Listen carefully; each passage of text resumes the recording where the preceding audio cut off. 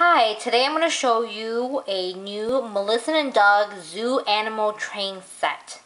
So we just got this set and we're going to check it out to see what it comes with. Let's open it up. And we will see. Ta-da!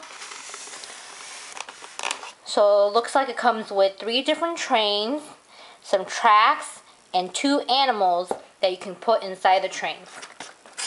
So take these out. There's a blue one with a cage.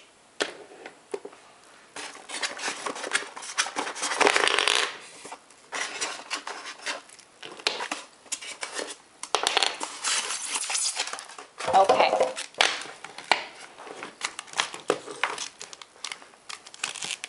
So there are eight pieces of the curved wooden tracks for these trains and they come together to become a circle.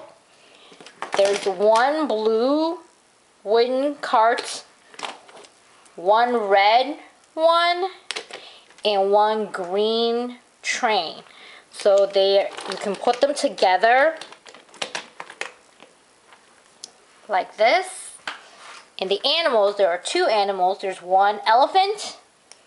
We'll put that in the red one. And a tiger. We'll put that one in the blue one.